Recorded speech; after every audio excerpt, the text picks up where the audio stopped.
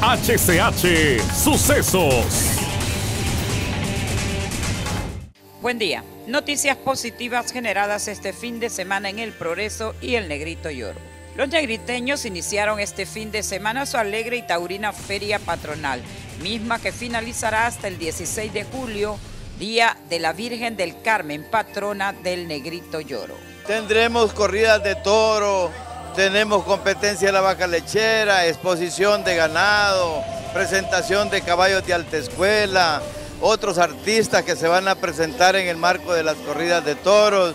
Muchas gracias, muy contento de estar un año más, agradecido con Dios por venir a compartir con mi familia negriteña, con nuestro alcalde municipal Delvin Salgado, con los miembros de la Asociación de Ganaderos y Agricultores del Negrito Lloro, pero sobre todo con todo mi pueblo negriteño, que hoy celebramos con mucha alegría, con mucho colorido, con mucha música, con mucho entusiasmo, la Feria Juliana 2019. No, la Corporación Municipal eh, decidió, decidimos que la Asociación de Agricultores y Ganaderos del Negrito Lloro eh, administraran toda la feria, toda la feria, las actividades culturales, deportivas, religiosas, eh, y aquí también el Taurinas en el municipio es organizada por ellos, por la Asociación de Ganaderos, para colaborar en la construcción del, eh, del gran complejo que están construyendo para hacer sus propias fiestas aquí en el Lechón de Ganaderos, tienen un club Sí, como se lo comenta, muy feliz, muy contento de estar compartiendo en este día con los amigos del Negrito, felicitar a los organizadores por este magnífico evento que tienen.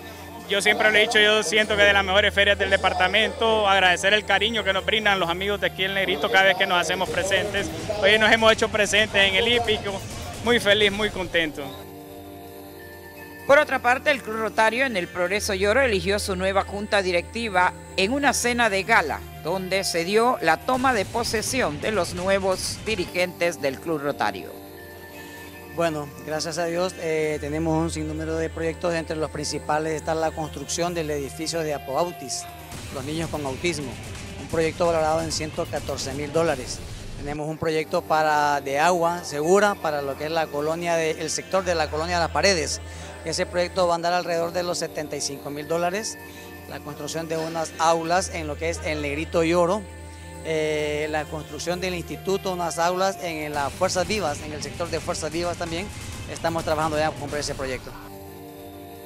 En otra información, Expo Eventos realizó por tercera vez su exposición donde participan varios empresarios y microempresarios para atrapar la atención de los progreseños en cuanto a los servicios que se utilizan en la celebración de diferentes fechas festivas, sea una boda, cumpleaños y más. Hubo demostraciones de decoración acompañado de pasarelas. Los progreseños ven con buen acierto este tipo de eventos para no tener que salir fuera a buscar o comprar estos servicios.